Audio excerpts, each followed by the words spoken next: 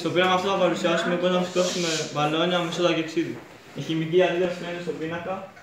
Το οξύδι διασπάται σόδα και δημιουργείται διοξείδιο του άνθρακα που φυσικώνει τα μπαλόνια. Τα υλικά που χρησιμοποιούμε είναι 4 πλαστικά μπουκάλια, 4 μπαλόνια, κουτί μαγειρική σόδα και ξύδι. Τύφουμε ξύδι στα 4, μπαλο... ε, στα 4 μπουκάλια. Στη συνέχεια γεμίζουμε τα μπαλόνια με δύο κουταλιές σόδα προσέχοντας να μην χυθεί στα μπουκάλια. Έπειτα τα τοποθετούμε στο στόμα των μπουκαλιών και τα αποδηγυρίζουμε απότομα. Το διοξείδιο του άνθρακα που παράγεται από την αντίδραση φουσκώνει τα μπαλόνια.